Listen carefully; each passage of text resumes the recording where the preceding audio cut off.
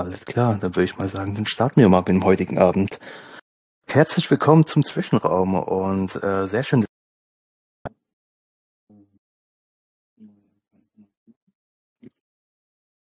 Äh, solange wir den Talk haben, ähm, will ich euch alle bitten, einfach gerade eure Mik Mikrofone stumm zu schalten.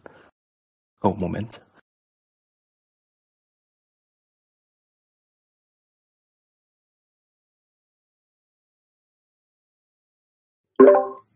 So, Nakon hatte heute schon ein bisschen Internetprobleme angekündigt, deswegen versuche ich gleich mal einzuspringen. Ähm, genau, herzlich willkommen erstmal zum Zwischentalk heute. Und ja, ganz kurz vielleicht ähm, die Regeln ganz grob gesagt. Also wie ihr mitbekommen habt, wird das Ganze aufgezeichnet. Die Folgen kann man sich dann auch später mal auf einer Website, die gerade in Arbeit ist, auch anhören und runterladen. Ansonsten sind die auf jeden Fall ähm, auch bei uns einfach anzufragen. Ihr seht ja auch Links in den verschiedenen Text-Channels die vorhandenen Talks. Und da können auch jederzeit immer noch Fragen gestellt werden. Es kann sich ausgetauscht werden. Und da seht ihr auch, welche Aufnahmen ihr anfragen könnt, wenn ihr Interesse habt. Hallo, bin ich wieder da? Perfekter Einsatz. Ich übergebe wieder an dich. Danke. So wird es heute und zu passieren. Ja, ich muss mich heute Abend leider ein bisschen entschuldigen. Irgendwie gibt es halt gerade so ein kleines Unwetter.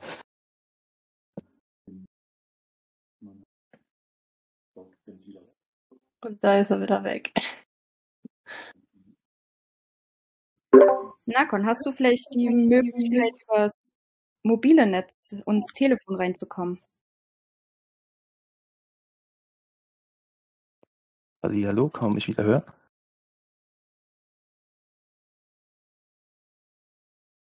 Jemand da? Hallo? Jetzt, wir hören dich. Jetzt? Okay, danke. Ich muss mich gleich mal vorab entschuldigen. Und zwar ähm, ist hier so ein kleines Unwetter bei mir und irgendwie ähm, spackt meine Internetverbindung ein bisschen. Ähm, falls ich rausfallen sollte, wird ähm, herzlich gern die Vanessa dann eben an meiner Stelle übernehmen. Das einfach schon mal vorab.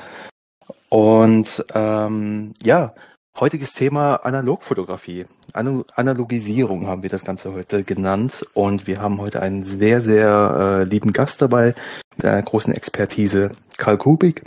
Er ist Creative Director und Director of Photography bei der Agentur Sons of Motion Pictures in Leipzig. Servus, Karl. Hi.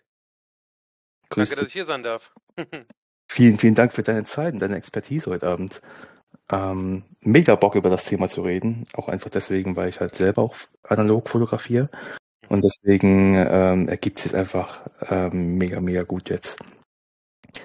Erste Frage vorab, wie geht's dir denn? Ja, äh, könnte heute besser sein. Ich hatte ein bisschen Kopfschmerz die letzten Tage, aber ich habe mich sehr gefreut über das gute Wetter am Wochenende. Anfang der Woche konnte ja. ich mal wieder richtig schön ein bisschen Film fotografieren. Ja, das habe ich jetzt, ja, das habe ich jetzt auch wieder öfters gehört, dass äh, gerade das Wetter jetzt gerade bei allen Leuten jetzt irgendwie ein bisschen verrückt spielt und hier und da mal ein paar Kopfschmerzen verursacht. Ja, Karl, du ähm, fotografierst das schon seit längerem analog und äh, da jetzt schon mal die erste Frage, wie kamst du überhaupt generell zur Analogfotografie? Das ist eine gute Frage. Ähm, ich habe damals, bin damals auf jeden Fall digital eingestiegen mit einer, ja, eigentlich ist es egal welche natürlich, ne? Canon D400D war es, glaube ich, damals mit der digitalen Kamera und habe mich da so ein bisschen ausprobiert. Ähm, und war dann irgendwann mal interessiert daran. Ich habe eine alte Kamera geschenkt bekommen von meiner Tante und habe dann einfach mal da einen Film eingelegt und den mal geschossen und dann irgendwo im DM abgegeben, habe mir das dann angeguckt als Abzüge und dann ist dann auch irgendwie lange nichts mehr passiert. Und erst im Studium äh, der Medienproduktion wurde ich dann von einem Professor darauf hingewiesen, äh, dass es ja bei uns auch Mittelformatkameras zu leihen gibt, also etwas größere Filmkameras und die habe ich mir dann ausgeliehen und rumprobiert äh, und angefangen selber zu entwickeln und so hat sich das so ein bisschen verselbstständigt. Das ist jetzt etwas, was du jetzt auch wirklich, also ähm, wie viele Jahre ist das jetzt schon her, wenn ich fragen darf? Ähm, das müsste irgendwie 2013, 2014 gewesen sein. Da habe ich dann angefangen, mehr analog zu fotografieren auf jeden Fall. Und ich Ah, habe, okay. glaube ich, so mit, so mit 18 angefangen, mich überhaupt für Fotografie zu interessieren. Das ist interessant, weil das überschneidet sich ja schon so ein bisschen dann wirklich mit ähm, den aufkommenden Trend der Analogfotografie, der so in den letzten Jahren da eben so kam, ne? Also man merkt schon, also ich bin schon froh, dass ich mir 2014 meine Kamera gekauft habe und nicht jetzt, weil die Werte haben sich auf eBay jetzt halt schon eigentlich verdoppelt, würde ich sagen. Filme sind sehr Ja. viel teurer geworden, Kameras auch. Also der Hype ist da sehr, hat sich da sehr potenziert auf jeden Fall. Aber das hat damals schon angefangen, das stimmt. Mhm. Ja, das ist super horrend einfach, was die, was die Preise angeht, gerade wie du es gesagt hast, bei eBay oder generell im Netz. Mhm. Und da ist es schon fast wirklich am besten, wenn man einfach auf irgendeinen Flohmarkt geht und äh, da eben auf sein Glück hofft. Da finde ich immer, da kriegt man die besten Schnäppchen her. Ja, da muss man wirklich Glück haben. Also da sind immer mal wieder Leute dabei, die halt nicht genau wissen, was sie da liegen oder stehen haben. Man muss halt natürlich auch gucken, dass die Sachen funktionieren. Ja, Halt immer mit alten mechanischen Objekten so, die verharzen gerne, das Öl ne, stockt und man muss halt einfach die Funktionalität überprüfen und so ein bisschen wissen, wonach man gucken muss. Ne? dahingehend jetzt schon mal so ein paar Tipps. Ah, Hast, hättest du also gerade so ein paar Tipps, worauf man achten könnte, wenn man gerade so nach einer Analogfotografie, äh, nach einem ähm, Fotoapparat eben schaut? Also unbedingt auf jeden Fall äh, die Kamera mal aufziehen und auslösen. Also sonst ist sie ja gar nicht in der Lage, ein Foto zu machen. Ne? Mhm. Also es kommt ein bisschen drauf an, jetzt auch welche Kamera es ist, ob die einen Spiegel besitzt oder nicht. Ähm, aber generell einfach mal die Funktionen ausprobieren. Das ist jetzt leichter gesagt als getan, weil dafür muss man gewissermaßen zumindest die groben Prozesse wissen, wie eine Kamera funktioniert und wie man die wahrscheinlich bedienen wird, obwohl man die noch nie gesehen hat.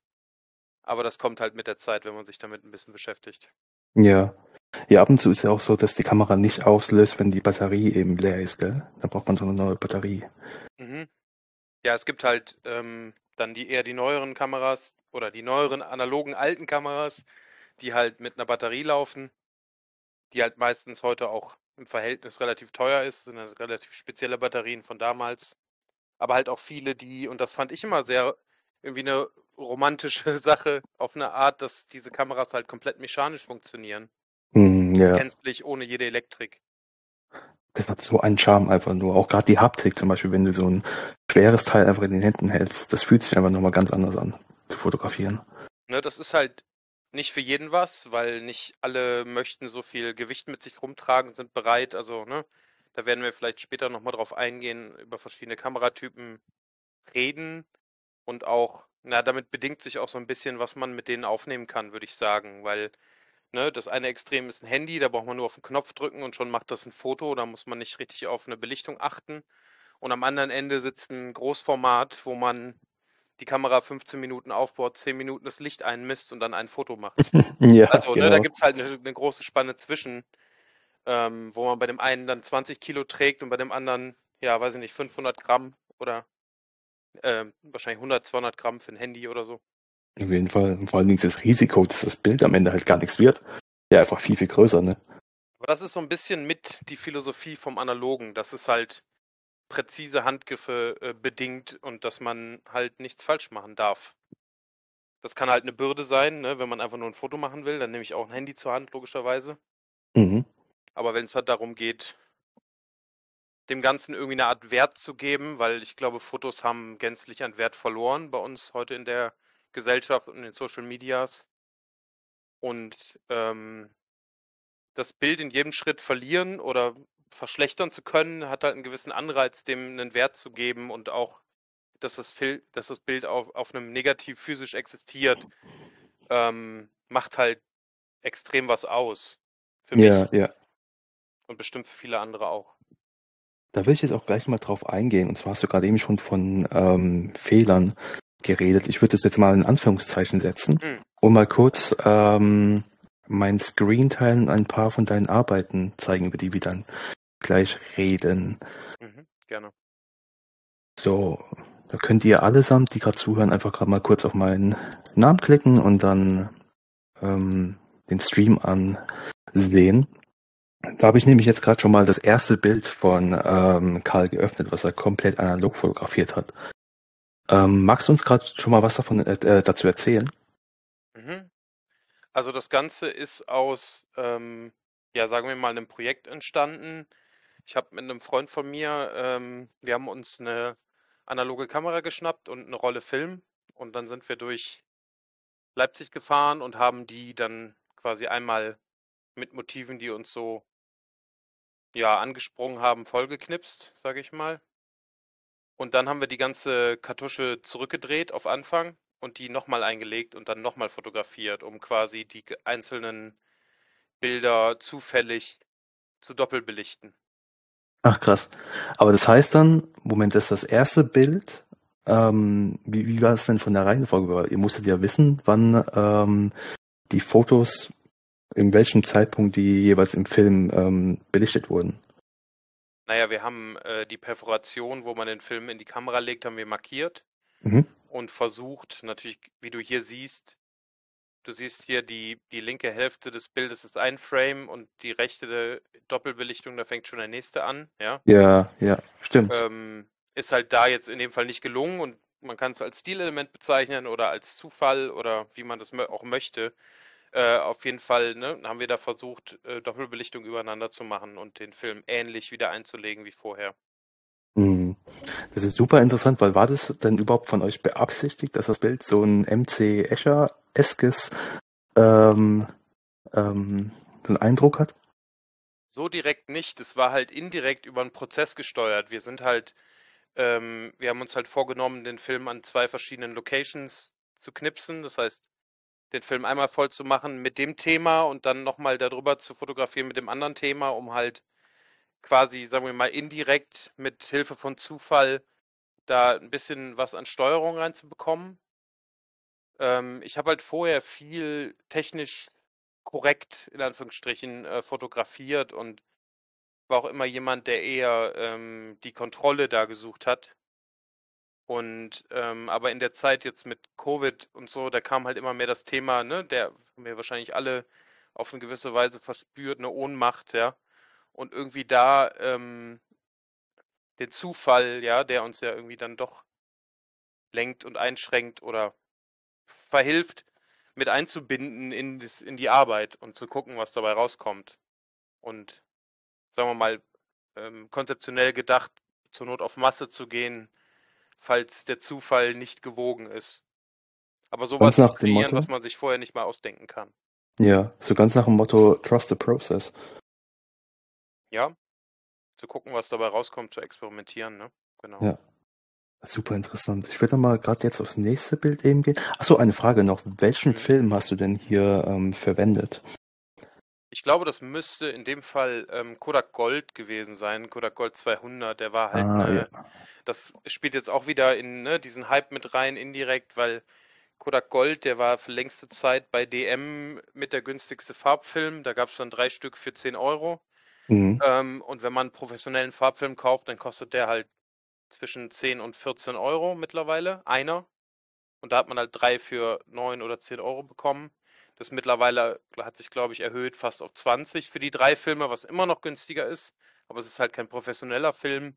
Ja. Ähm, aber wir wollten halt, wir haben halt, glaube ich, vier oder fünf oder sechs davon geschossen. Das heißt, wir haben halt auch nach einem Film gesucht, der, ja, wo man jetzt nicht vielleicht 15 Euro auf den Kopf haut, wenn man zuerst gar nicht weiß, was dabei rauskommt.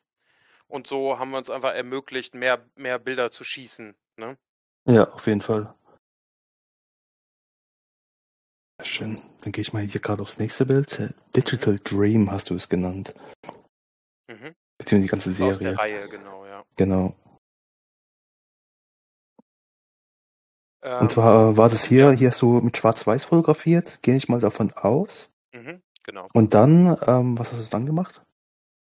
Also zuerst äh, ist das halt, das ist tatsächlich ein äh, Negativ, ähm, beziehungsweise ne, auf einem Film fotografiert. Das ist damals aus meinen ersten Versuchen, wo ich meine Ken äh, alte Canon halt einen Schwarz-Weiß-Film eingelegt habe und meine Abzüge bekommen habe. Und diesen Abzug, der halt von einem Analog-Foto stammt, den habe ich wiedergefunden nach mehreren Jahren und habe den, habe das Ganze dann mit meinem Filmscanner kombiniert und diese RGB-Trennung, die ihr hier seht, das ist, Mhm. ähm, das kommt aufgrund, dass man das Bild während des Scan-Vorgangs bewegt. Also beim Scannen fährt ja ein, ja, ein Fotokopf Linie für Linie von oben nach unten. Und wenn man halt ähm, das Bild währenddessen bewegt, treten halt solche Artefakte zum Beispiel auf. Und wenn man so will, ist es halt äh, eine Art von Performance, die man da halt äh, ja machen muss, um halt gewisse Bildwirkung zu bekommen. Äh, ich habe nachher auch noch mal ein kleines Beispiel dafür, wie so eine andere Version von dem gleichen Bild aussieht, dass man sich ungefähr vorstellen kann, in welche Richtung sowas geht. Mhm. Aber das war dann auch einfach eine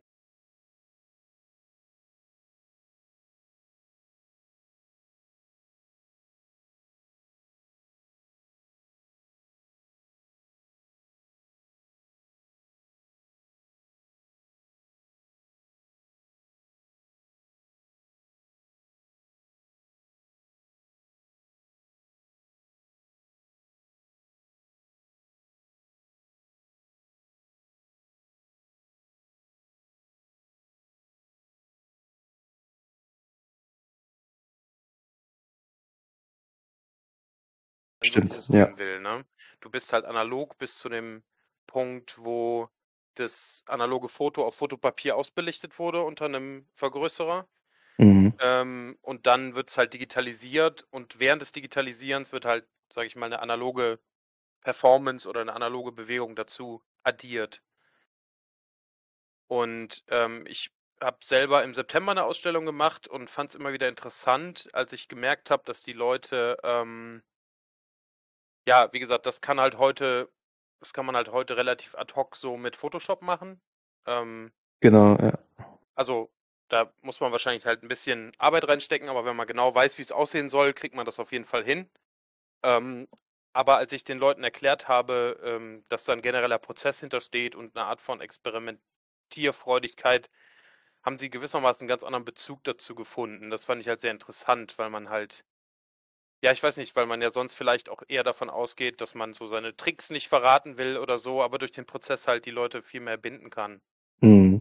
Du hast auch einfach eine Story dahinter, ne? Das ist halt so das Ding, während du bei Photoshop jetzt einfach sagen kannst, ja, das ist ein Effekt, den ich jetzt mal schnell draufgeklatscht habe, ist es hier einfach so, du hast wirklich einen technischen Prozess, äh, den du erklären kannst und äh, wo du die, die zuhörenden Menschen auch einfach mal äh, mitnehmen kannst auf diese kleine kreative Reise. Jeder Prozess nimmt ja oder ähm, addiert ja Artefakte zu dem Bild. Das heißt, Mhm.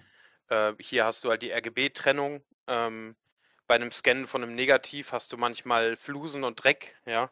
Die kannst du natürlich vorher wegmachen oder nachher wegstempeln. Und das tue ich auch mit störendem Korn oder störendem Dreck, sag ich jetzt einfach mal, Staub. Mhm. Aber es gibt halt auch, ja, das, das macht halt so ein bisschen diesen unsauberen analogen Look für manche Bilder aus, das zu, da zu lassen. Ja. Und quasi von jedem Prozess so ein bisschen die Artefaktur mitzunehmen. Alrighty. Ich würde mal dann hier aufs nächste Bild gehen. Ähm, die Serie hast du äh, Kaleidoscopic genannt. Mhm. Kann sofort nachvollziehen, warum. Mhm. Ähm, aber wie hast du denn diesen Effekt denn hinbekommen?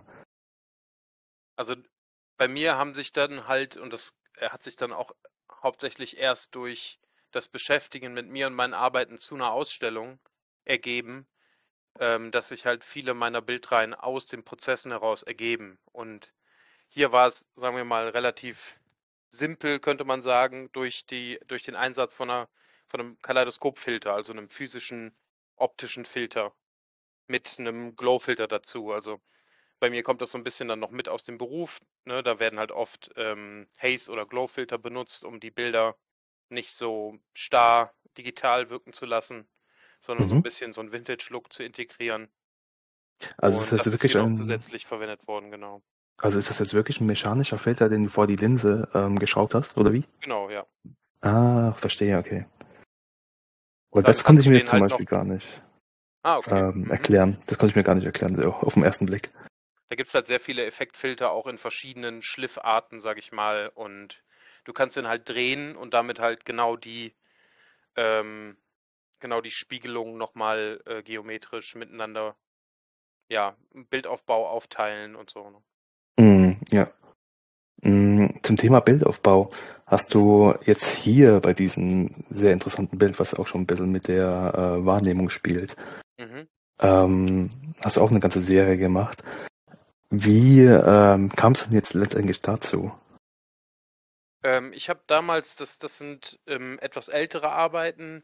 Ich habe damals im Studium für eine Abgabe in Fotografie halt äh, ein paar Sachen ausprobiert. Unter anderem äh, ist dadurch halt diese Serie entstanden.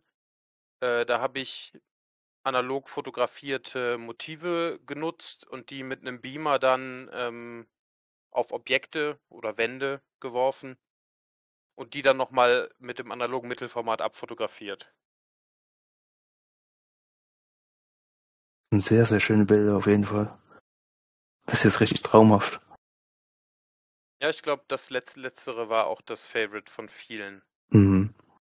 Und bei dem Bild ist es ja so, ähm, das hast du im Vorfeld ja schon mal gesagt gehabt. Mhm. Da hast du einfach die Ecke von einem Raum fotografiert, gell?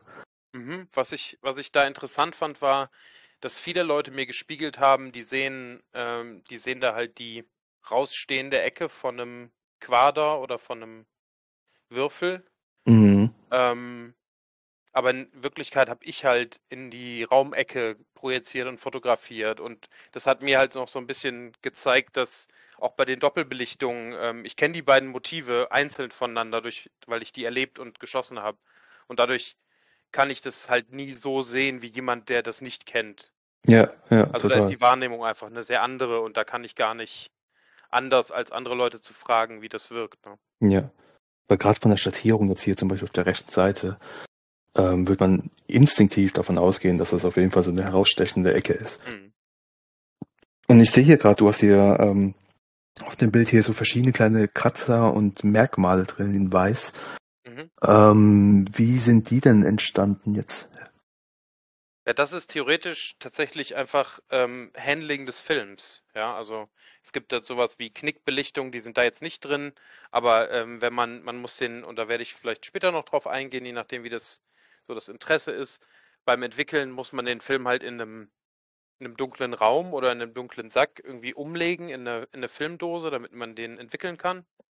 Und ähm, wenn man da halt noch nicht so erfahren ist, kann, können dabei halt Knicke im Film entstehen, ähm, die halt dann zur Belichtung führen oder, weiß ich nicht, ne, Staub oder ähm, Kratzer können entstehen, wenn das Plastik aneinander reibt und sowas. Und das sind dann einfach so, ja, Beiprodukte, die durch sowas entstehen. Und Ja, dann dazu beitragen können, auch davon ablenken können. Das ist halt immer so eine gewisse Gewichtung, sage ich mal. Heutzutage jetzt- würde ich den Film definitiv cleaner aus der Kamera bekommen, wenn ich wollte. sagen wir mal so. ja. Ja, da hast du jetzt gerade eben was Interessantes erwähnt und zwar ähm, tust du deine ganzen Filme ja selber entwickeln, ne? Du gibst sie jetzt in kein Fotolabor, sondern du ähm, entwickelst sie alle daheim oder äh, in einem ähm, eigenen Labor. Also ich hab's halt, Und Entschuldige. nee, tut mir leid, ähm, was wolltest du sagen? Also ich habe ähm, anfangs habe ich meine Farbfilme ähm, abgegeben, weil das ein bisschen komplizierterer Prozess ist. Aber früh schon mit Schwarz-Weiß-Entwicklung angefangen, Schwarz-Weiß-Negative. Ähm, das ist ja mit ein bisschen Equipment eigentlich für jeden zu Hause relativ leicht zu machen. Jeder, der kochen kann, kann auch einen Film entwickeln, würde ich sagen. Ja. Hättest du da vielleicht noch irgendwelche Tipps so ganz nebenbei zum Thema ähm, Filmlabore, also Filme bei Filmlaboren abgeben? Es gibt heutzutage leider nicht mehr so viele Filmlabore, wie es mal war in der Vergangenheit. Und teilweise lässt auch, also aus eigener Erfahrung her, lässt auch die Qualität ein bisschen zu wünschen übrig. Ähm, Ja. Hast du da vielleicht irgendwelche guten Erfahrungen damit gemacht, beziehungsweise hast du da vielleicht irgendwelche Tipps?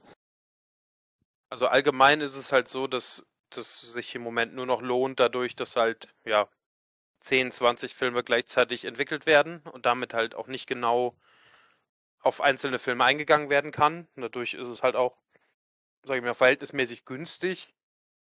Ähm, generell, wenn man zu DM geht, da kann man bestimmt noch so ein C41, einen Farbnegativfilm abgeben. Schwarz-Weiß wird schon schwieriger, da gibt es zum Beispiel in Leipzig gibt's Labore, die sogar noch, oder ein Labor, was sogar noch innerhalb von, sagen wir mal, eine Stunde bis einen Tag die Filme entwickelt, vor Ort auch noch, Mhm. was ich aber als relativ selten sehe im Moment noch. Die meisten, da muss man das halt wegschicken, bekommt es halt wieder. Und dann kann man sich halt direkt auch, also man kann den Film entwickeln lassen und bei so Profilaboren, sage ich mal, kann man sich auch direkt äh, Scans dazu machen lassen. Aber das wird sehr schnell sehr teuer. Deswegen lohnt sich das sehr, das selber zu Hause zu machen. Vor allem, weil man sonst, wie ich finde, die, ja, die, das halbe kreative Potenzial ein bisschen verschenkt. Ähm, weil man halt über Entwicklung, wie man entwickelt, mit welchem Entwickler, auf welche Art, wie man den Film schießt und dann das entsprechende mit dem Film macht, kann man halt gewisse Looks erzeugen.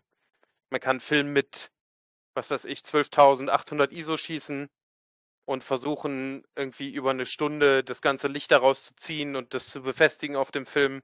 Also da gibt's äh, Wege, die einfach ganz verschiedene Looks bedingen und Spaß machen, wenn man da Bock drauf hat.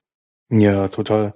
Weil ich habe nämlich auch jetzt die Erfahrung gemacht, einfach nur, dass ich, wenn ich meine Filme abgegeben habe, das war jetzt auch teilweise bei, beim Rossmann oder so, mhm. dass wenn die Filme dann irgendwie nach drei, vier Wochen zurückkamen, super übersättigt waren und ich nicht wirklich zufrieden war mit ähm, der Farbwiedergebung. Und das fand ich ein bisschen schade, vor allen Dingen, weil ähm, die Filme, die ich auch geschossen habe, ein bisschen teurer waren. Also jetzt zum Beispiel so ein Kodak Portra 400. Mhm. So ein ganz großer Klassiker und sehr, sehr beliebt in der Analogfotografie. Ähm, kam einfach tatsächlich für mich viel zu übersättigt raus. Das wäre halt irgendwie ein bisschen mhm. schade. Aber und gerade wenn man halt, so lange wartet. Ja. Ja, voll. Das ist halt immer so ein bisschen das Problem in dieser Massenverarbeitung, weil ähm, wenn du die Abzüge machen lässt, die Leute, die hauen die halt durch. Ähm, da wird dann eine Einstellung genommen für den ganzen Film oder vielleicht sogar für mehrere Filme.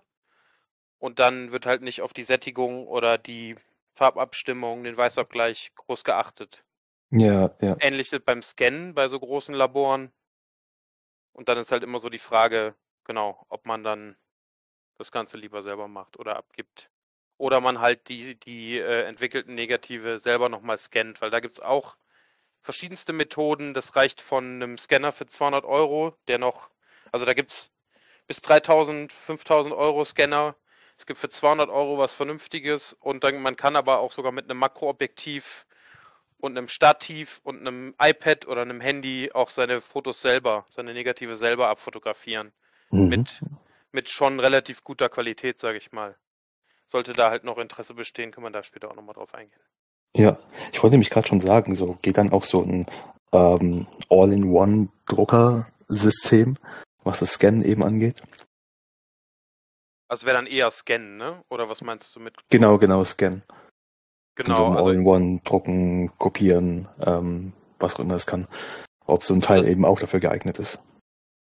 Das eher nicht. Das Wichtige ist halt, also es müssen schon recht, also wenn man auf einen Scanner gehen will und nicht das mit äh, einem Makroobjektiv oder Digitalkamera machen will, ähm, braucht man einen relativ speziellen Scanner, weil der hat, also das ist ein normaler Flachbrettscanner, wie man sich den vorstellt, aber der hat halt auf der Rückseite, auf dem Deckel noch ein Licht, was mitwandert, was quasi hm. die Negative von hinten durchleuchtet, damit man die gut scannen kann. Ach so, verstehe. Weil sonst okay. würde man halt nur einen Auflagescan machen und der ist halt nicht durchleuchtet. Ja. Das ist halt das Wichtige. Tatsächlich, stimmt, ja.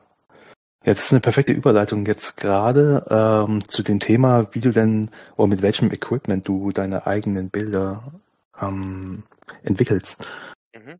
Da würde ich dir gerade einfach jetzt mal kurz das Streaming überlassen. Ja. Lass mal kurz bei mir abbrechen. So, und dann kannst du uns mal ähm, zeigen, mit welchem Equipment du arbeitest. Und wie vor allen Dingen auch der Prozess bei dir ist.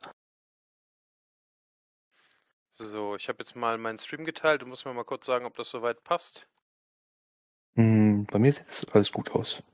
Super. Ja. Äh, das sind jetzt erstmal so, sagen wir mal, Beispielbilder. Ähm, ich würde einfach mal kurz, äh, sieht man das gut, ja? Ja, super, perfekt. Ich gehe einfach mal kurz, also es ist jetzt erstmal nur analoges Equipment und auch nur Kameras. Wir gehen einfach mal vom kleinsten Format zu größeren. Ähm, das war jetzt so eine, ja, eine, eine SLR, äh, die ich damals von meiner Tante geschenkt bekommen habe. Da kommt halt 35 mm Film rein, also man kennt das. Das ist halt, ich gehe nochmal einmal ganz kurz zurück.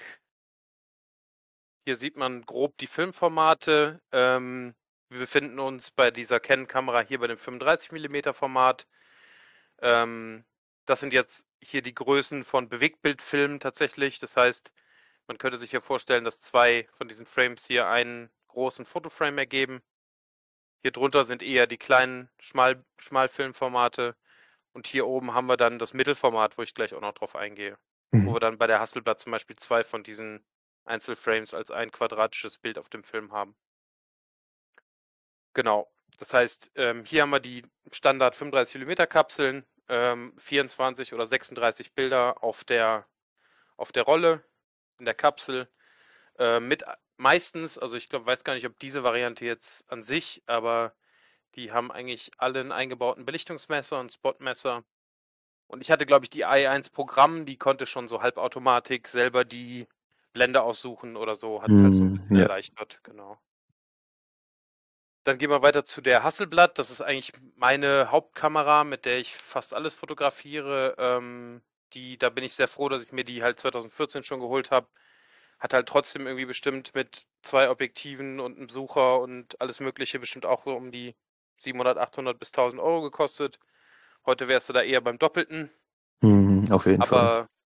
Natürlich war es damals eine schwierige Entscheidung, aber ich aus der heutigen Sicht würde ich es niemals bereuen. Das ist halt, musst du halt genauso mit einer digitalen Kamera, die du dir holst, vergleichen, wenn man die so oft nutzt, ne?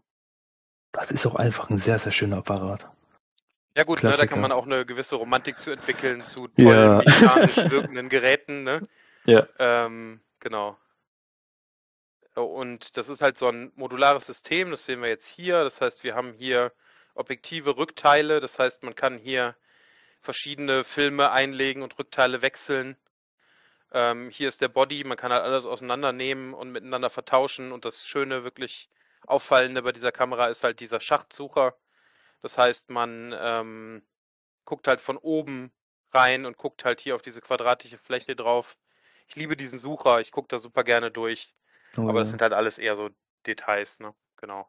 Und er macht dann auch so, ja, 55 mal 55 Millimeter große Fotos. Da sehen dann, also aufgrund der Sensorgröße ähm, beziehungsweise der Filmgröße sieht dann die Unschärfe und die ganze Bildwirkung ganz anders aus. Also ganz interessant, was dann passiert, weil sich die Brennweiten halt verringern, je größer die Aufnahmefläche ist. Das mhm. heißt, wenn ich ähm, hier an, dem, an der Kamera ist zum Beispiel 80 mm dran jetzt gerade und auf diesem Format hier ist es 80 mm wie an einem Vollformat ein 50er. Du hast aber die Schärfewirkung von einem äh, ja, von einem 80er. Und auch die, also gerade wenn man in den Weitwinkelbereich gehen würde, ähm, hat man keine Verzerrung aufgrund der ja. Brennweitenerhöhung. Das ja. ist, jetzt geht es jetzt ein bisschen in eine technische Sache, aber dadurch kriegt man einfach sehr viel hochwertige Bilder hin, zusätzlich dazu, dass man so große Filmausschnitte fotografiert. Was ich bei der Hasselblad ja auch sehr interessant finde, ist, ähm, dass die sich quasi, die, die zwingt dich quasi ähm, anders zu fotografieren. Aufgrund dessen, dass eben das belichtete Bild oder das Bild generell im Sucher ähm, von oben zu betrachten ist. Mhm. Wodurch die Kamera natürlich auch nochmal ähm, viel, viel niedriger halten kannst. Ne? Also man kommt sehr, sehr natürlich in der Untersicht auf jeden Fall. Mhm. Gerade wenn man noch klein ist, dazu sage ich mal, ja, dann kommt man sehr, sehr schnell in eine Untersicht. Und das hilft halt auch viel bei der Fotografie, weil ähm, man, und das machen viele am Anfang halt falsch, die fotografieren halt aus, aus Kopfhöhe und dadurch, egal was man fotografiert, ist es erstmal nicht ganz so interessant, weil das unsere, unserer üblichen Wahrnehmung entspricht und nicht so aus der Norm rausgeht oder was Besonderes aufzeigt. Ne? Hm, ja. Äh, natürlich gibt es dafür aber auch Prismen, das heißt, man kann da auch auf Augenlevel äh, fotografieren. Das heißt, hier ist dann Prisma drauf. Dieser Screen oder diese, ähm, dieses Milchglas ist auch gespiegelt tatsächlich äh, links und rechts, weil das halt nur bei einem Spiegel hier hoch gespiegelt wird. Und wenn man dann so, das mal okay. aufsetzt, wird das Ganze ja. dann entspiegelt. Und ist dann, funktioniert dann quasi wie eine DSLR, wie man das kennt. Mhm. Mit einem Glasspiegel. Genau. Und jetzt kommen wir dahin, ne, gute Überleitung von dir, dass du sagst, Kameras, äh, die ähm, steuern das ziemlich krass, wie man fotografiert. Und das vor allem hier, wenn du dir vorstellen willst, dass du ja sowas für 10, 20 Kilo aufbauen musst, bevor du ein Bild machst. Und selbst wenn du ein Bild machst, hier hinten kommt dann eine Kassette mit einem ja, Postkartengroßen Negativ rein. Und wenn das Negativ drinsteckt, kannst du auch gar nicht mehr durch den Sucher gucken. Ist also nicht zur Sportfotografie. Ja. Und so ähm, sind die Kameras dann im Endeffekt, ja, die bestimmen irgendwie den, den Arbeitsfluss und die Motivwahl unter anderem. Ne? Total. Von wann ist denn denn dieses Gerät? Von, von wann ist denn das Gerät? Also es wird jetzt nicht viel älter als ein Hasselblatt sein. Das sind einfach andere Anwendungsbereiche. Das sind Fachkameras, die wurden, die kamen halt eher in ähm, Studiobereichen oder Produktfotografie, Porträtfotografie zum Einsatz. Mhm. Ähm, ja, 80er oder so, würde ich sagen, vielleicht. Ja. Da gibt's halt diese hölzernen mit dem Riesenbalgen, das sind so ganz alte. Aber generell ist das, ist das eigentlich die leichteste Kamera, die man sich so vorstellen kann. Es gibt ein Objektiv, da ist ein Verschluss drin, der zu einer bestimmten Zeit zumacht. Und dann gibt es hier einfach nur äh, leeren Raum drin, der halt dunkel gehalten wird durch einen Balken. Und dann haben wir hinten halt das ähm, geschliffene Glas und mehr nicht. Das heißt, wir haben eigentlich nur ein Objektiv, einen Abstand, mit dem wir die Schärfe regulieren können, vor und zurück. Mhm. Und ja, ein Glas, ähnlich wie auf der Hasselblatt, wo man, die wir vorher gesehen haben, wo man beurteilen kann, was man denn da fotografieren möchte. Natürlich gibt es hier noch so Feinheiten wie, man kann die Standarte hochschieben, man kann das Frontelement vor- und zurückkippen, um Tilt-and-Shift-Effekte zu machen, aber ne, generell ist es sehr, eine sehr, sehr einfache Kamera, wo dann einfach nur nachher an die Stelle des geschliffenen Glases ein Filmbehälter, ein lichtdichter Filmbehälter geschoben wird und da dann halt Licht drauf geworfen wird. Und das Ungewöhnliche dabei ist, dass das Bild auf dem Kopf ist. In dem Fall gespiegelt und auf dem Kopf. Ja. Weil gar kein Spiegel dazwischen ist. Oh, da verknotet sich aber das Hirn ordentlich. genau, da, da würde man dann auch mit, wie man das aus früher kennt, mit so einer Decke über dem Kopf arbeiten, damit man das im hellen Licht vernünftig sieht. Und man hm. würde wahrscheinlich eine Bildschirmlupe nehmen und genau wirklich mit der Lupe auf das äh, Glas gucken und das ganz genau einstellen, die Schärfe und dann unter Umständen irgendwie mit, mit Blende 11, 16 mehrere Minuten belichten. Ah ja, hei, hei, hei. Ne, genau.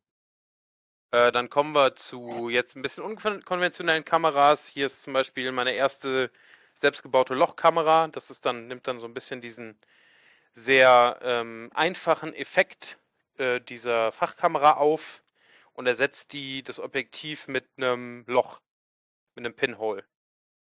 Das heißt, wir haben hier zum Beispiel sowas wie, ich glaube nicht, dass das, wie gesagt, ich habe hier die Bleche, das sind einfach ähm, Bleche von einer Trinkdose, wo ich ein Loch mhm. eingestochen habe und die kann man austauschen. Ähm, deswegen mag die Blendenzahl jetzt nicht stimmen, aber Lochkameras haben halt Blenden zwischen 90 und 280 oder sowas. Uff. Je nachdem, wie klein die Löcher sind und dadurch können die halt ähm, Bilder abbilden, ohne eine Linse zu haben. Und, und ich habe, ja. Nee, tut mir leid, ich wollte dich gar nicht unterbrechen. Ja, gut. Ähm, und da legt man dann, also das ist jetzt einfach eine Posterrolle mit einem Loch drin. Und da lege ich dann zum Beispiel diesen Großformatfilm von der Kamera davor, ähm, der hier sonst normalerweise reinkommt, lege ich da im Bogen hinten rein.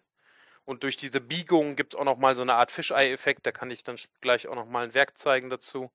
Mhm, ähm, ja. Und habe jetzt tatsächlich erst irgendwie letzte Woche aus einer, ich, ist jetzt auch keine Werbung, aus einer Illy-Dose ähm, tatsächlich auch nochmal eine Kamera gebaut, ähnlicherweise. Bin einfach nur drauf gekommen, weil es sehr viel einfacher ist, mit dem Deckel diese Kamera zu beladen. Das heißt, du hast halt irgendwie einen Schuss dabei, stellst die Dose irgendwo hin, wartest drei, vier, fünf Minuten Belichtung mit Blende 100 und danach hast du ja ein relativ, relativ scharfes Bild. Das ist wahrscheinlich nicht mit der Digitalfotografie zu vergleichen, aber da geht es wieder um Prozesse. Aber jetzt würde es mich ja interessieren, ob du dabei, ob du für die Kameras jetzt einen speziellen Anwendungsfall hast oder ob das jetzt alles ähm, reine Experimentierfreude ist. Was heißt Anwendungsfall? Mm, in dem Sinne, dass du sagst, okay, ähm, ich möchte gerne genau diese Art von Motiv, das heißt jetzt irgendwie, keine Ahnung, Landschaft, Porträt oder irgendwas anderes, fotografieren und ähm, da finde ich, wird sich diese ähm, Lochkamera wirklich ganz gut eignen. Lochkameras, dadurch, dass die Belichtung von Sekunden bis zu Minuten oder Stunden dauert, je nach Lichtverhältnisse, ja. eignen die sich halt sehr gut dazu, um Bewegung und Zeit auf einem Bild festzuhalten. Das heißt, ähm, gehen wir davon aus, es würden Menschenmassen eine Straße lang gehen, du würdest eine Lockkamera da aufbauen, dann würdest du nachher die Schlieren der Menschen sehen können. Mhm. Ja, ja.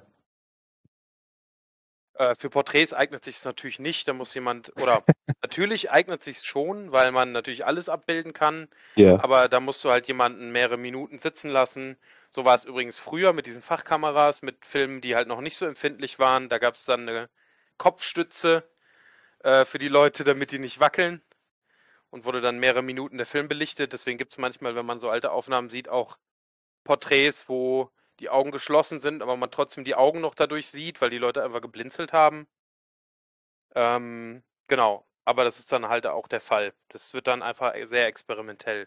Ja, ja, da muss aber man, man kann damals halt über ordentlich. eine lange Zeit ähm, Bildinformationen auf, aufnehmen.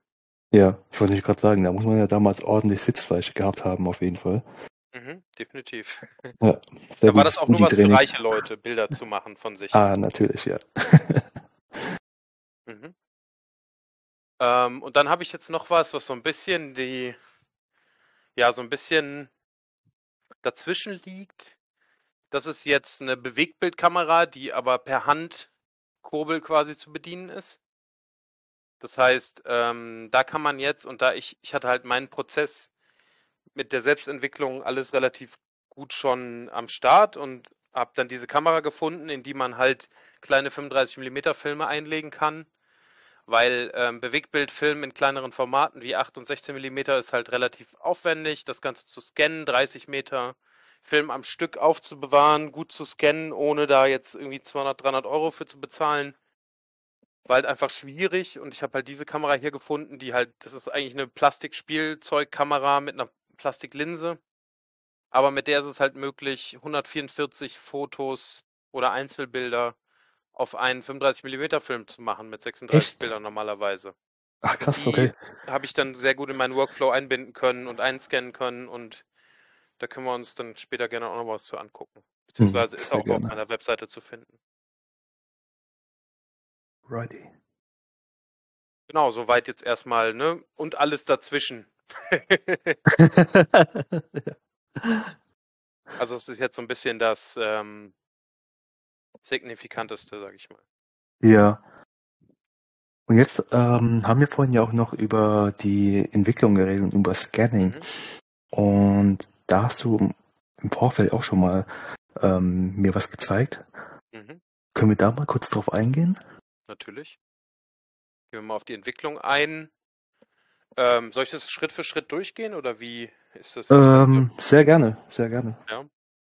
Ähm, also generell ähm, funktioniert die Entwicklung mit einem Entwicklungstank. Habe ich eben schon mal kurz von gesprochen. Der, ähm, da kann man halt Chemikalien in diesen Tank füllen und wieder rauslassen, ohne dass halt Licht eintreten kann. Da wird der Film auf so eine Plastikspule aufgespult im Dunkeln. Und das passiert halt, ich muss hier ein bisschen springen, sorry, mit einem Wechselsack. Kann man sich vorstellen wie so ein Pullover, der aber da, wo man sonst reinschlüpfen würde, zwei Reißverschlüsse hat unten, um halt den Sack zuzumachen und lichtdicht zu machen. Und dann schlüpft man hier mit den Händen rein, hat hier drin seinen Zugen Film und Oh. seine ähm, Ah ja. Seinen Development Tank und seine Spirale und dann kann man den Film hier innen drin, muss man den halt aus der Kapsel lösen und den auf die Spirale aufspulen, in die lichtdichte Dose stecken und äh, dann kann man das Ganze wieder rausholen und dann kann man am Licht in seiner Küche oder in seinem Bad ähm, die Chemikalien einfüllen. So jetzt erstmal grob ähm, zum Ablauf. Und jetzt muss ich gerade mal selber gucken. Ach so, ja, ich habe hier auch noch mal das ganze, das Ding besitze ich selber. Ähm, hier sieht man auch noch mal ungefähr den Prozess. Da muss man jetzt nicht unbedingt den Film aus der Kamera holen. Ähm, kann auch die fertige Filmkartusche sein. Und zum Beispiel für den Anfang ist halt super einfach, Rodinal zu nehmen. Das ist ein Flüssigentwickler, den man mit Wasser verdünnt und anmischt. Und dann würde man vielleicht, hier, hier sieht man zum Beispiel ähm, Standardverdünnungen wie 1 zu 25, also ein Teil zu 25 Teile, je nachdem wie viel man anmischen möchte. 1 zu 50. Hierbei würde man zum Beispiel 10 Milliliter von dem Entwickler auf einen halben Liter geben. Das füllt man dann in die, ähm, in die Entwicklerdose ein und dann gibt es Kipprhythmen. Das heißt, der Entwickler, der, ähm, ja, wie soll ich sagen, der reagiert sich ab an dem Film. Das heißt, der wird schwächer an der Stelle, wo der an den Film kommt. Und dadurch muss man einmal die Minute oder ist es sehr gängig und das ist halt dann wieder der Experimentierprozess, was passiert, wenn man es anders macht. Aber einmal die Minute wird dann der Film gekippt und der Film wird dann je nach, je nach Film und je nach Verdünnung, weiß ich nicht, zwischen drei und 20 Minuten ähm, in der Filmdose gelassen und immer wieder gekippt. Mhm. Danach dann halt, und ne, da wollte ich auch nochmal drauf eingehen, wirklich auch fachmännisch entsorgt. Das heißt, ich bin dazu übergegangen, meine Chemikalien ähm, auch zu sammeln in Behältern und die halt dann auch am Wertstoffhof abzugeben. Das ist sehr wichtig für unsere Umwelt. Mhm, ähm, ja. Ist halt auch, das ist definitiv ein Negativaspekt an der Analogfotografie. Ähm, ob man das jetzt mit ne, Akkus und Strom aufwiegen kann, ist dann so die Sache. Das muss jeder für sich selber wissen. Äh, genau. Gibt es da irgendwie eine Möglichkeit, die Chemikalien nochmal zu verwenden, also wieder zu verwenden? Oder ist es nach einmal ähm, komplett durch? Ähm, das Prozess? kommt auf die Entwickler an. Rodinal ist ein Einmalentwickler, aber äh, ich glaube, was würde ich denn sagen? Je nach Konzentration reicht die Flasche für 50 Filme oder mehr. Hm, also okay. der kostet, glaube ich, 15 Euro, auch nicht die Welt. Ähm, es gibt Entwickler, die man öfter nutzen kann. Da muss man dann halt, wenn man die das zweite Mal nutzt, die Zeiten verdoppeln und sowas tun. Äh, das muss man, ist aber auch ein bisschen experimentell und wird ein bisschen von den, den Herausgebern angegeben oder von Leuten im Internet experimentiert. Da gibt es sehr große Gemeinden mit mhm, Leuten, okay. die da Pionierarbeit leisten. Genau. Äh, was ich jetzt noch vergessen habe, ist ein Fixer. Das heißt, ähm, ein Rapid Fixer oder so. Das heißt, nachdem der Entwickler äh, aus der Dose gelassen wurde, gibt es manchmal noch ein Stoppbad. Da werde ich jetzt nicht genauer drauf eingehen, aber um die Entwicklung zu, abrupt zu stoppen, damit es nicht länger geht, als man das möchte. Und dann wird, wird eine Fixierbad vorgenommen. Das kann man auch mehrmals verwenden. Ähm, und am Ende wird der Film eigentlich nur noch gewaschen. Und dann kommt halt so ein, jetzt in dem Fall schwarz-weiß negativ dabei raus. Na super. Und dann wird dieser ähm, anschließend bei dir eingescannt? Gehe ich mal davon aus? Genau, es gibt jetzt dann zwei Wege, wie die man gehen kann. Entweder den klassischen Weg und man nimmt diese Negative als Schablone für einen Vergrößerer. Das heißt, die werden in ein, ja, da gibt es halt einen Projektor mit einem Licht und einem Objektiv und dazwischen liegt dieses Negativ und dann wird das halt auf einen Tisch projiziert, wo dann nachher ein lichtempfindliches Papier liegen könnte wo man dann einen klassischen Fotoabzug auf lichtempfindliches Papier macht, den man dann auch wieder, und das ist dann die klassische rote Dunkelkammer, die man kennt, den Film halt in so Schalen entwickelt. Äh, mhm. Äh, Entschuldigung, nicht den Film, sondern das abgezogene Papier. Und der andere Weg ist halt das Scannen, das ist dann halt die Digitalisierung. Ähm, Finde ich sehr spannend, wie das so einen hybriden Prozess gefunden hat, weil ja die meisten Fotos doch alle jetzt digital genutzt werden und wir die digital brauchen. Ähm, Scanner lesen die Filme halt auch anders, als wenn man sie ausbelichten würde. Da geht es dann sehr viel mehr über Charakteristik. Das heißt, ein Rauschen würde auf einem Scanner sehr viel mehr rauskommen als in einem, in einem analogen Abzug. Ähm, was aber sich sehr gut bedingt mit dem, was die meisten Leute eh haben wollen, nämlich den analogen Look. Genau. Jetzt aber da die Frage, wie kommt denn jetzt eigentlich die Farbe zustande? Also das ist jetzt ein Schwarz-Weiß-Film. Mhm. Ähm, Ach, okay. Mhm. Der besitzt keine Farbe, aber gut, dass du sagst, weil das ist nämlich jetzt zum Beispiel ein Beispiel für einen C, also das andere, was wir jetzt gesehen haben, ist eine Schwarz-Weiß-Entwicklung vom Schwarz-Weiß-Negativ. Und was separates ist für Farbnegativfilme jetzt der C41-Prozess. Ähm, den habe ich lange gemieden und lange äh, meine Filme abgegeben. Das liegt daran, dass man die Temperatur plus minus ein Grad genau halten muss, wenn man ähm, die Farben so gut wie möglich haben will. Das heißt, sobald man mit der Temperatur im Entwicklungsprozess abweicht, shiften die Farben in eine Richtung. Also es kommt halt auch ein bisschen auf den Film an, in welche Richtung das geht, aber die Farben sind dann nicht mehr so wie aufgenommen. Okay. Und das und dann kann man, ist es gerade eine Überraschung, was dann rauskommt. Genau, das, das kann man ja auch absichtlich machen, wenn man damit rumexperimentiert oder sich Ergebnisse von anderen ansieht. aber der korrekte Prozess ist, die Temperaturen zu halten. Und da würde man dann im ersten Prozess, also ich habe lustigerweise gestern erst neue ähm, Chemikalien dazu angemischt. Man mischt die drei mit Wasser zusammen, die zwei jeweils den und hast du einmal den Entwicklungsprozess, den Blix, das ist ein Bleach und ein Fix. Den Fixierer hatten wir eben schon bei dem Schwarz-Weiß-Prozess, aber hier wird noch gebleicht, denn, jetzt muss ich mal gucken, hier sieht man es, denn ähm, die Basis von dem Film ist orange. Das heißt, hier sieht man ja auch gar nicht so richtig, dass es Farben hat. Das kommt halt durch diese orangene, durch diesen orangenen Base Layer. Und der wird halt gebleicht, damit man den besser durchleuchten und scannen Mhm. kann. Man kann auch ähm, die Bleach-Phase weglassen und bekommt dann, das wurde halt zum Beispiel, ich glaube, relativ bekannte Filme sind da äh, Soldat James Ryan, das nennt sich Bleach Bypass. Das heißt, man fixt nur mit einem Schwarz-Weiß-Fixer und lässt die Bleiche weg und bekommt dadurch sehr kontrastige, aber und, und sehr sättigungsarme, ähm, ja, sättigungsarmes Bildmaterial. Also da kann man auch definitiv mit rumspielen. Es gibt ja auch Cross-Processing, also das heißt, man kann jetzt theoretisch auch diesen Film mit Schwarz-Weiß-Chemikalien entwickeln, bekommt dann aber auch nur Schwarz-Weiß-Bilder. Also aus der heutigen Sicht, dass Farbfilme so viel teurer sind, äh, macht es wenig Sinn. Ja. Außer man will das für einen Look nutzen. Gerade wenn ich sehe, dass du hier so einen Kodak äh, Portra 800 hast. Ja, genau, der kostet halt einfach mal 15 Euro heutzutage. Ja. Genau. Ähm, und wie ich das dann für mich geschafft habe, im Temperaturbereich zu bleiben, ist halt durch tatsächlich, witzigerweise besitze ich als Vegetarier einen Sous-Vide-Tauchsieder, Wie genial ist das denn? Ähm, äh, so wie, weiß ich nicht, wem das was sagt, da muss man halt Fleisch sechs Stunden lang bei 60, 70 Grad irgendwie durchgaren lassen. Ähm, aber natürlich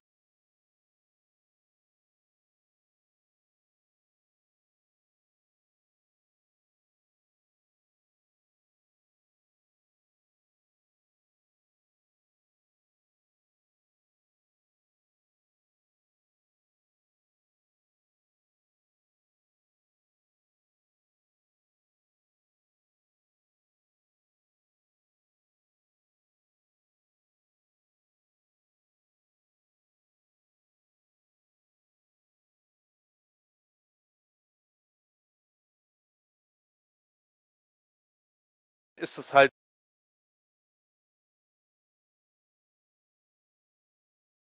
Film abscannt. Ähm, und hier oben haben wir dann quasi das Licht, das Gegenlicht, was mitläuft, um halt den Film zu durchleuchten. Hm, okay. Aber man sieht auch schon, dass es ein entsprechendem Format ist. Beziehungsweise, dass du extra ja nochmal genau diese ähm, Klammer ja hast. Für den Film. Genau, die sorgt halt dafür, dass die Filme genau über diesem Gegenlicht liegen, ne? Mhm. Und nicht irgendwo auf dem Scanner, wo sie nicht durchleuchtet werden können. Dafür sind eigentlich diese Plastikmasken da. Die sind auch nicht sehr gut, die können auch leider zerbrechen. Aber da muss man dann mehr Geld, glaube ich, hinlegen als 250 Euro für diesen Scanner. Aber für mich hat er immer ausgereicht. Ja, jetzt die große Frage, äh, nach diesem ganzen ähm, Equipment jetzt, was du uns gezeigt hast. Mhm. Was vom, vom Budget her, so, Mhm. was wird das jetzt alles zusammen kosten? Na, ich sagen wir mal so, ähm, ich würde noch mal ganz kurz äh, die Option aufmachen, selbst scannen. Mhm. Ich wollte da noch mal kurz drauf eingehen, weil das würde ich für den Anfang eher empfehlen. Mhm, gerne. Das heißt, muss ich mal gucken, ob ich noch ein anderes Bild hier habe. Ich glaube nicht. Genau. Also, äh, absolut möglich ist es auch, seine DSLR zu nehmen und ein Makroobjektiv daran zu machen oder sein Porträtobjektiv, das auf ein Stativ zu stellen und dann nimmt man sich entweder ein ähm, Smartphone mit einem weißen Hintergrund, komplett auf hell gestellt, oder man nimmt sich ein Tablet oder was hier halt unten liegt, ist so eine, die habe ich auch hier, das ist so eine Leuchtplatte, auf der man sich Negative angucken kann, aber natürlich will das, will man das vielleicht für den Anfang nicht kaufen. Deswegen ein Tablet oder ein Smartphone, legt oben drüber mit einer Halterung. Man kann auch zwei, ähm, ähm, zwei Tape-Rollen nehmen und dazwischen das Negativ einklemmen, ja, und man muss dann halt nur vernünftig scharf stellen und kann dadurch dann seine Negative digitalisieren. Okay, das ist eine sehr, sehr coole Idee. Und das hat, also, ne, wenn man sowieso schon fotografiert, hat man sowas vielleicht da ähm, und kann das dann auch schon für den Anfang zu Hause machen und sich überlegen, ob man dann überhaupt das Ganze weitermachen will oder nicht. Ja. Und Genau, alles Option- budget. Genau, diese Option wollte ich halt nochmal eben ähm, mit reinnehmen, bevor ich darüber spreche, was sowas kostet. Ich glaube, jetzt müssen wir mal kurz drüber reden. Ich hätte gesagt, man kann alles auf jeden Fall für sich für un- unter 100 Euro holen. Äh, natürlich äh, minus das, die DSLR oder den Scanner. Das heißt, so eine Dose kostet, sagen wir mal, zwischen 30 und 40 Euro. Da ist dann schon so eine äh, Plastikspule bei. Mhm. Weiß ich nicht, ob jeder halt so einen Messbecher zu Hause hat, da gehe ich jetzt einfach mal von aus. Handschuhe, ich benutze sie nicht. Ähm, benutzt sie bitte, um auf Nummer sicher zu gehen, aber äh, ja, weiß ich nicht, ob die so nötig sind. Papiertücher und Hände waschen tun es dann auch, je nachdem, wie empfindlich halt man mit der Haut ist, sage ich jetzt einfach mal. Ah ja, okay. Ähm, das muss halt jeder für sich selber wissen. Ein Thermometer, um halt zu gucken, dass die Temperatur bei Schwarz-Weiß-Filmen auch grob auf 20 Grad ist, ist relativ wichtig. Ein Timer auf dem Handy oder auf äh, ein Eiertimer, den hat man ja irgendwie vielleicht in der Küche. Filmclips braucht man auch nicht unbedingt, da kann man auch Wäscheklammern nehmen, um die Filme aufzuhängen an der Leine oder so. Am besten im Bad, weil das halt das Ganze halt relativ staubfrei ist. Mhm. Und so ein ähm, Wechselsack, der kostet dann vielleicht auch nochmal 30, 40 Euro. Das heißt, mit dem Entwickler, ähm, mit einem Entwickler irgendwie für 15 Euro und einem Fixierer auch nochmal vielleicht für 10 oder 15 Euro, kann man für unter 100 Euro theoretisch schon dabei sein und könnte dann damit bestimmt 50 Schwarz-Weiß-Filme zu Hause selber entwickeln. Oh, das ist nicht schlecht. Ich meine natürlich, ähm, fürs erste Mal investieren alles schon sehr teuer im Vergleich, Klar, natürlich. aber für den eigentlichen Prozess trotzdem sehr interessant. Vor allen Dingen ähm, hast du ja einmal die Tätigkeit im, ähm, also einmal die Investition gemacht und dann hält es erstmal eine Weile. Also wenn man eh vorhat, mal ein paar Schwarz-Weiß-Filme sich entwickeln zu lassen, könnte man das Geld auch sammeln und für sich privat investieren, um das dann selber zu tun. Mhm, ja, Auf Dauer wird man da auf jeden Fall günstiger bei wegkommen. Schon. Und vielleicht auch mit dem Ergebnis auch einfach zufriedener sein. Genau, oder halt auch verschiedene Sachen ausprobieren, die man im Labor vielleicht dann auch nicht machen kann. Man Ja. kann halt Filme ähm, über- und unterbelichten und dann kompensieren in der Entwicklung dafür, um die Filme halt kontrastiger, rauschiger oder weniger rauschig zu machen. Das geht halt bei Schwarz-Weiß ganz gut. Ja. Ja, sehr interessant. Was mich jetzt gerade noch beschäftigt, ist ähm, das Thema Analogfotografie, das machst du ja auch gerade viel in der Freizeit. Mhm. Ähm, Frage ist jetzt, ob das auch irgendwo in deinen ähm, Agenturalltag oder deinen Arbeitsalltag mit reinfließt, die, äh, die, die Analogfotografie. Mhm. Also ich glaube so direkt eher nicht.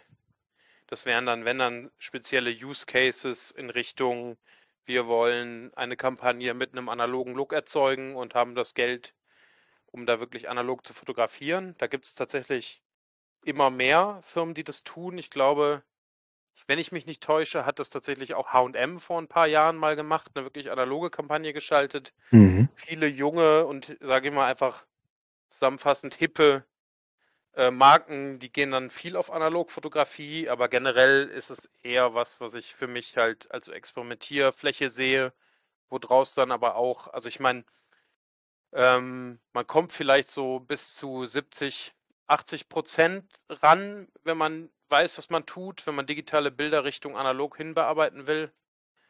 Ähm, nicht ganz, weil die, weil Filme halt Licht ganz anders aufnehmen. Aber einen Analog-Look könnte man theoretisch auch ähm, digital erzeugen, zumindest bis zu einem gewissen Grad. Und ähm, da bietet das natürlich eine gute Inspiration für Looks, für Prozesse, die natürlich auch dann auf meine Arbeit sich auswirken. Ja. Das erinnert mich jetzt daran, ähm, und so für alle, die jetzt gerade zuhören, ähm, am Ende unseres Talks könnt ihr dem Karl natürlich allesamt noch Fragen stellen. Die könnt ihr entweder jetzt schon in den Analog-Channel, ähm, in den Text-Channel oben rein posten mit dem heutigen Datum und ähm, dem Titel Analogfotografie oder eben kurz euer Mic anmachen und ähm, selber ihn fragen. Weil wir hatten nämlich vorhin schon eine Frage gehabt ähm, zu dem Thema ähm, entweder eine Analogkamera, also Lisa hat hier eine Frage gestellt, ich lese sie mal kurz vor. Mhm. Und zwar, äh, für wen, in welchen Fällen eignet sich die Investition in eine Analogkamera und wann in eine Digitalkamera mit Filtern im Analoglook? Fällt mir jetzt zum Beispiel gerade die Fuji X100V ein. Oder die ganze mhm. Fuji-Filmserie. Das kommt ganz drauf an, äh, wie man fotografieren möchte, würde ich sagen, und worauf man Wert legt. Ich kann nur von meiner Seite aus sagen, ich habe halt digital angefangen, bin sehr froh darum, weil ich da mich komplett ausprobieren konnte, ohne groß, sagen wir mal, Film zu verschleißen, Geld zu verbrennen. Ähm, bin dann irgendwann zu analog gewechselt und das hat mir beigebracht, besser zu fotografieren, weil ich mich, weil man eine Limitation erzeugt durch die finiten Bilder. Mhm. Das würde man vielleicht auch tun, wenn man eine zu kleine Speicherkarte einlegt. Tatsächlich, ne? ähm, würde das wahrscheinlich auch schon dazu führen. Äh, natürlich ein bisschen anders, aber ja, man muss sich ein bisschen mehr damit auseinandersetzen, wovon ich Bilder mache und auch äh, damit verbunden, warum. Warum interessiert mich das? Warum mache ich da jetzt ein Bild von? Warum ist das so interessant, als dass ich dem jetzt im Bezug auf die Hasselblatt, da ist halt ein Mittelformatfilm, sind zwölf Fotos. Warum gebe ich dem einen von zwölf Fotos auf meinem Film? Warum bin ich da bereit zu? die mhm, Auseinandersetzung mhm. damit. Und warum ist es jetzt dieser Moment und nicht der Moment, der gleich kommt? Warte ich noch? Gehe ich noch einmal, äh, laufe ich hier nochmal rum und gucke mir das nochmal an? Oder, ne, ich, ich fange mich, fang an, mich damit zu beschäftigen. Und wenn, weiß ich nicht, von einem Spaziergang zwölf Fotos rauskommen, anstatt irgendwie 1500, die man sich nie wieder anguckt oder vielleicht mühsam bearbeiten muss, dann hat das schon irgendwie eine gewisse Qualität. Und für mich hat das immer eine sehr sehr viel Ruhe. Ähm, weil man sich sehr darauf konzentrieren muss, was man möchte und was man jetzt wirklich fotografiert. Natürlich kann mhm. man auch fünf Filme schießen, das ist klar, aber irgendwie wird man halt so ein bisschen artifiziell zurückgehalten. Ja, man bekommt auch einfach eine ganz andere Wertschätzung für das Ergebnis, was man am Ende produziert hat. Ne? Mhm. Aber wie du es gerade eben gesagt hast, so auch gerade, wenn man Fotos auf dem Handy schießt, die meisten, die schaut man sich einfach nie wieder an landen dann auf irgendeiner Festplatte oder auf irgendeiner Speicherkarte und sind dann für die meiste Zeit einfach weg. So. Und dann hat man auch meistens vergessen, dass man die jeweils geschossen hat. Wahrscheinlich, ja. Aber ja. ne, auch gegen Handyfotos ist natürlich nichts zu sagen, weil Überhaupt wie geil nicht, ist es, dass wir nur auf den Knopf drücken müssen und schon ein Bild von allem haben, was wir wollen. Ja, vor allen Dingen aus der Hosentasche heraus, ne? Mhm, genau. Aber jetzt nochmal zurück zu der Frage. Magst du die nochmal kurz ähm, noch mal kurz lesen. Äh, von Lisa gerade eben? Mhm, genau. Ja, Aber die genau. war jetzt noch nicht ganz beantwortet. Und zwar, ähm, für wen und in welchen Fällen eignet sich die Investition in eine Analogkamera und wann in eine digitale mit Filtern im Analog-Look? Also ich kann auch was da, kurz dazu sagen. Es ist eine Frage von einem Freund, die er mir vorgestern gestellt hat. Er konnte ja heute leider nicht dabei sein, hat keine Zeit. Ähm, deswegen habe ich sie jetzt mal für ihn weitergegeben. Und genau, also er hat jetzt noch keine Digitalkamera, wenn ich das richtig verstanden habe, und hat eben überlegt, ob er in eine Fuji, äh, wie Nakon schon richtig erraten hat, investiert, plus dann halt Digitalfilter oder eben was Analoges. Da habe ich dann gleich gesagt, da wäre die analoge Option wahrscheinlich günstiger. Vom Preis her jetzt schon mal. Na, für den initiellen Preis wahrscheinlich schon, ja. Ist halt nur die Frage, ne, wie viel da hinten dran hängt und jede Kamera bringt halt so ein bisschen den Shooting-Style mit sich. Und da ist halt analog und digital recht weit auseinander. Das heißt, wenn man sich sehr viel ausprobieren will, vielleicht auch, sag ich mal, Events fotografieren will, wo man ja viele Bilder braucht, viel Kapazitäten braucht, schnelle Bilder braucht und auch die schnell halt zu Hause auf den Rechner ziehen und bearbeiten will und dafür ein Gefühl kriegen will, Vielleicht ist dann anfangs digital äh, eine gute Sache. Ist halt die Frage, wie sehr man sich damit auseinandersetzen will. Analog ist halt sehr viel langsamer und man braucht sehr viel mehr Geduld. Aber für mich hat das halt auch eine, einfach eine gewisse Magie immer wieder, auch nach hunderten Filmen immer noch mal den Film zu entwickeln und den aus der Dose zu ziehen und zu sehen, dass da irgendwie sich irgendwelche Kristallteilchen da auf dem Film zu einem Bild, was du gemacht hast, zusammengefügt ja, haben. Aber das kommt halt sehr darauf an, ähm, worauf man hinaus möchte. Das eine ist meditativ, das andere ist flexibel und umgänglich. Mhm. Also für den Hobbybereich auf jeden Fall. Mhm. Nicht ganz unpassend, ja. Mhm. Definitiv. Also ich denke, eine Spiegelreflexkamera, eine 35mm Kamera für so bis zu 50 Euro sollte da eigentlich auf jeden Fall drin sein mit einem Objektiv.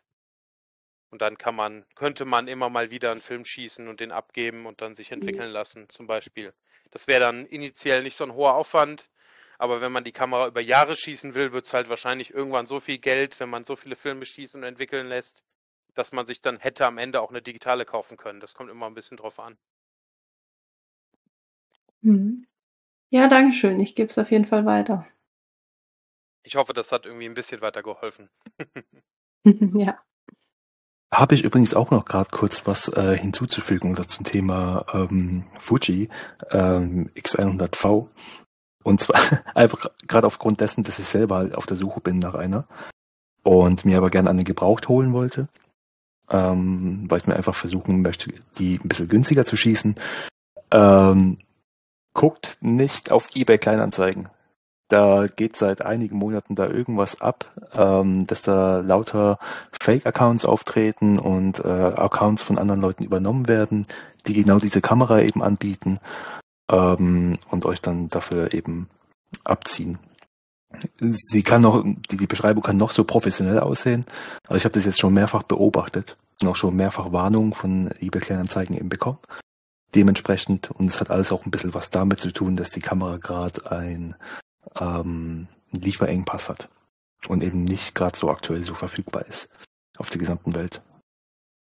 Ähm, aber generell für Analogkameras würde ich sagen, guckt euch auf ebay.de um, definitiv. Ja, das auf jeden Fall. Alright, das war's schon mit meinem Input. ähm, ich würde dann vielleicht gerade jetzt mal zur nächsten Frage übergehen. Mhm. Und zwar von der Vanessa. Und zwar schreibt sie, Während deiner Fotoexperimente spielt Zufall bzw. das Loslassen der Kontrolle über den Prozess eine große Rolle für dich. Wann oder wie entscheidest du dich dann für genau das eine richtige Bild oder diese Serie? Mhm. Also, ähm, die gesamte Kontrolle loszulassen wäre wahrscheinlich ein bisschen viel. deswegen deswegen ähm, sind das immer, ja, sagen wir mal, verschiedene Herangehensweisen und es gibt Bilder, ähm, vielleicht kann ich da auch mal eben was aufrufen, muss mal kurz gucken. Ähm, es gibt halt Bilder, wo das mehr der Fall ist und Bilder, wo das mehr oder weniger der Fall ist oder Projekte oder genau. Ähm, wir können ja mal kurz reingucken. Das wäre dann zum Beispiel das hier. Ähm, da habe ich halt angefangen, Filme in Chemikalien einzulegen. Das heißt, das sind eigentlich fotografierte Filme, die eigentlich schon durch sind die habe ich dann für mehrere Tage ähm, in verschiedensten Chemikalien eingelegt, wie Essig oder ähm, Wein, Schnaps, Alkohol, was auch immer. Äh, alles Mögliche, was ätzend ist. Mhm.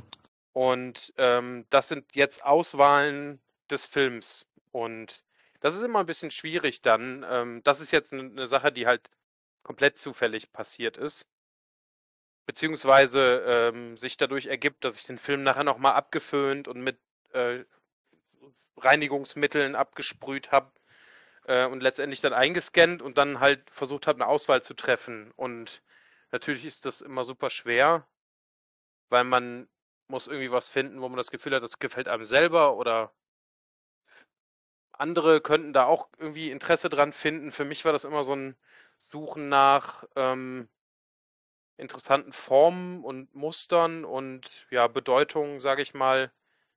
Äh, ist aber halt auf jeden Fall eher an dem abstrakten Ende des Spektrums, ne? Ja. In dem Falle jetzt. Also aber super ja, spannende Bilder. Ja. Ähm, da gibt es dann auch nochmal äh, quasi das Abgesetzte, da sind dann, kommen dann mehr die, sagen wir mal, die Fotografien noch ein bisschen mehr durch unter diesem ganzen ähm, Chemikalien, Zerstörung, wie man dann hier sieht. Und natürlich ähm, hat man hier dann jetzt zum Beispiel nicht die Kontrolle darüber, ob der Baum jetzt frei steht oder nicht. Hm. Das ist dann einfach eine Art von Trial and Error. Krass.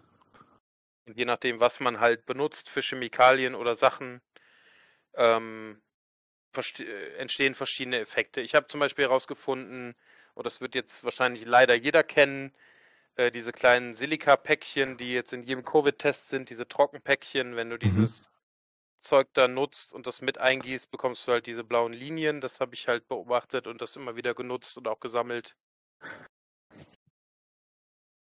Lustig, wie bist du denn da drauf gekommen? Ähm, ich habe tatsächlich mir, also es gibt halt einfach ein paar Leute im Internet, die viel rumexperimentieren und mich manchmal auf Ideen bringen. Und ähm, ich glaube, eine Person hatte das erwähnt mal, aber hat es auch noch selber nicht ausprobiert. Und dann habe ich es ausprobiert und dann hat man sich ausgetauscht. Mhm. Also Leute für alle, spielt mit Chemikalien rum.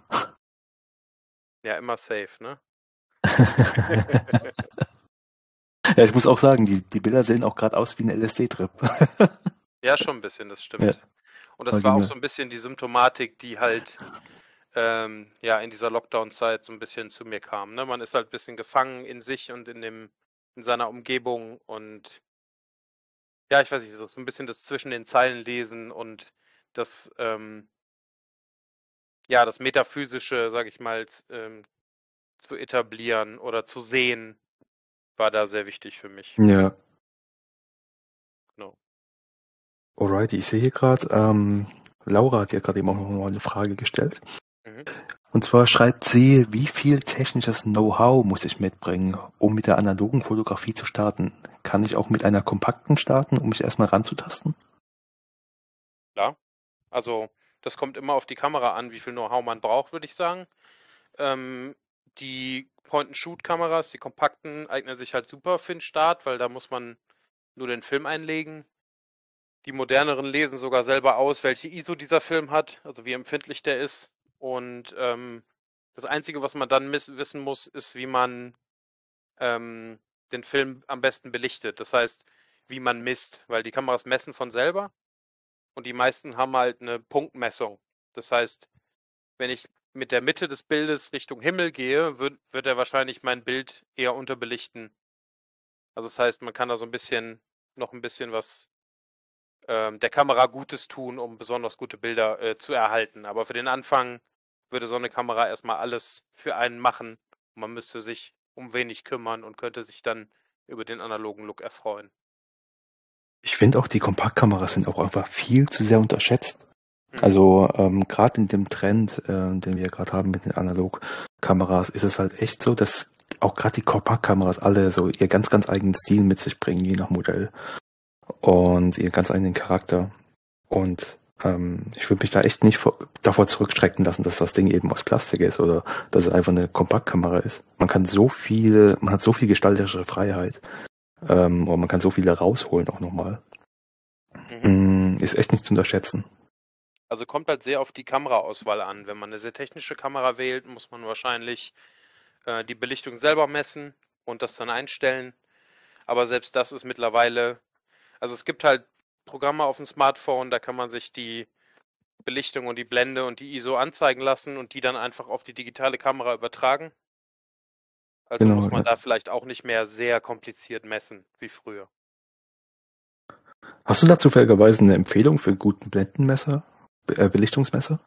Ähm, ich selber bin halt auf Android unterwegs, deswegen habe ich nur den von Android, das wäre Lightmeter Free. Das ist halt relativ, relativ selbsterklärend zu finden, glaube ich.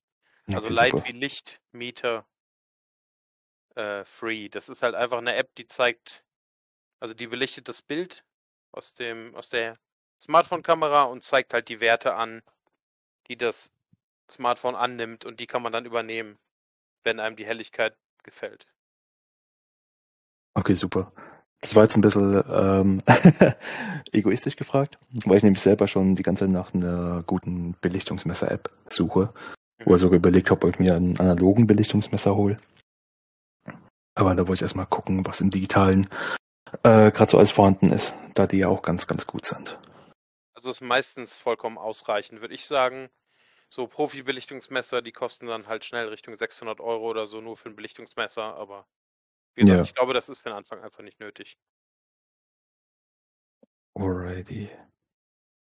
Ähm, von Miguel Löhmann haben wir hier auch nochmal einen ganz großen Beitrag. Ähm, den lese ich auch nochmal ganz kurz vor. Und dann würde ich auch noch mal gerne in die Runde fragen, ähm, ob ihr noch weitere Fragen habt. Dann sprechet jetzt oder schweiget für immer. Und so hat Miguel hier nochmal geschrieben, ähm, für in Dublin verweilende Personen. Ähm, John Gunn Camera Store in der Wexford Street entwickelt Analogfilm in zuverlässig, guter Qualität. Der letzte Sonntag im April ist der internationale Pinhole Camera Day, also der Lochkamera. In diversen Ländern gibt es entsprechende Events, Workshops oder Wettbewerbe. Also merkt euch den letzten Sonntag im April, wenn ihr ähm, für das Thema Lochkamera zu haben seid. Ja, auch nochmal ein sehr guter Hinweis. Danke, Miguel. Mhm, Vielleicht könnte seh ich ja mal, nur fällt mir jetzt spontan ein, vielleicht könnte ich ja mal einen Livestream machen, wie ich eine Pinhole-Kamera mache auf Twitch an dem Tag. Mal sehen. Das wäre auch nice. Wo wir gerade übrigens dabei sind, ähm, du hast im Vorfeld schon erwähnt, dass du einen Workshop anbietest. Magst du den gerade mal hier bewerben? Sehr gerne, vielen Dank. Also ich bin im Moment dabei, ähm, für mich nebenbei äh, so Workshops aufzubauen. Äh, da geht es halt um Analogfotografie, aber auch um Lichtsetzung, ähm, beziehungsweise wahrscheinlich wären das eher mehrere Workshops, je nachdem, wie tiefgreifend man auf gewisse Themen eingehen will. Ähm, aber in der Analogfotografie von der Filmaus Film- und Kameraauswahl bis über ähm, ja, das Schießen der Bilder, die Entwicklung und Nachbearbeitung ähm, habe ich halt viel Know-how gesammelt und gebe das auch sehr gerne weiter. Zusätzlich Lichtsetzung, ähm, ja, Bildsprache, Framing und äh, Bewegtbildgestaltung bin ich auch, glaube ich, ganz gut am Start. Das heißt, falls jemand von euch äh, Interesse hat, da mal tiefer einzutauchen, meldet euch gerne bei mir. Ich habe im Moment, bin da noch recht am Anfang und habe gerade, äh, bin da erst im Aufbau meine, meiner Seite. Ähm, aber meldet euch gerne. Ich danke euch. Reingehen poste ich gleich mal deine Webseite und dein Instagram und dann ähm, würde ich nochmal auf zwei weitere Fragen von Miguel eingehen, der die gerade eben reingepostet hat. Mhm. Und zwar ähm, schreibt er, welche Felder der Analogfotografie würdest du Beginnenden empfehlen und welche Motiv Motive interessieren dich noch für die Zukunft? Frage, welche Felder, in welche Richtung geht das, würde ich mich gerade fragen. Das überlege ich auch gerade. Vielleicht könnte das Miguel nochmal ähm, spezifizieren, was er mit Felder meint. Ähm, bis dahin kann ich, achso, ja gerne, Miguel. Ähm, also es ist jetzt, du hast jetzt die Sportfotografie zum Beispiel schon genannt, dass das ein bisschen schwierig ist in analogen Fotografie. Ähm, und das ist ja auch sehr interessensabhängig. Ähm, ja, also ich habe dann sowas wie, weiß nicht, Landschaft, Porträt oder ähnliches gedacht und ob du da vielleicht auch nochmal aus eigener Erfahrung vielleicht berichten kannst. Ähm, also ich war mit vor allem den schwereren Kameras immer mehr in der, ja, im Stillleben unterwegs, sag ich mal. Ähm, was sich ja auch anbietet, je größer die Kamera wird, desto sehr, desto mehr ist man halt auf dem Stillleben oder Landschaftsfotografie. Ähm, mich haben oft immer so, sagen wir mal, kleine Dinge, ähm, Odditäten interessiert, die halt mehr aussagen als Menschen, die man sehen würde, sage ich mal. Ähm, ich glaube aber in Zukunft möchte ich mich mehr Menschen widmen tatsächlich. Ähm, das habe ich längst eher vernachlässigt, sage ich mal. War da auch bewusst woanders unterwegs. Ähm, aber möchte da auch irgendwie versuchen, einen besonderen Approach dazu zu finden, weil ich mit dem zehnten Shooting irgendwie dann auch nur noch wenig anfangen kann auf Instagram. Ich weiß nicht, ob das jetzt deine Frage beantwortet hat, Miguel, sonst müsstest du dich vielleicht nochmal melden.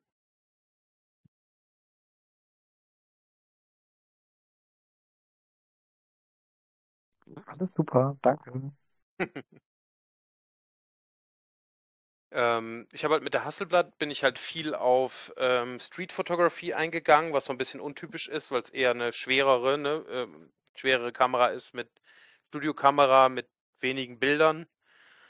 Aber irgendwie macht es genau das für mich aus. Dieses Mittelformat hebt sich genug von ähm, genug von den, den digitalen Medien ab, weil mit so große Sensoren haben wir mittlerweile auch nicht, dass das noch eine Rolle spielt, sage ich mal Mhm. und ist halt auch in einem geringen, in einer geringen Scan-Größe noch sehr, sehr gut verarbeitet und erkennbar. Also ist eigentlich so ein ganz guter Sweet Spot, finde ich heutzutage. Alrighty. Vielen, vielen Dank für deine Antwort. Ähm, wenn jetzt keine weiteren Fragen mehr kommen, dann bewegen wir uns jetzt schon so langsam jetzt gegen Ende zu. Ähm, die Kontaktdaten von dir, die habe ich jetzt hier in den Channel gepostet. Ähm, wenn du noch irgendwas anderes hast an Informationen, was du gern mit den anderen teilen möchtest, Karl, äh, kannst auch jederzeit das hier in den Text-Channel mit reinposten. Ähm, die anderen Leute natürlich, die jetzt gerade zuhören, ebenfalls, wenn ihr noch irgendwelchen zusätzlichen Input habt, würden wir uns sehr, sehr gerne freuen.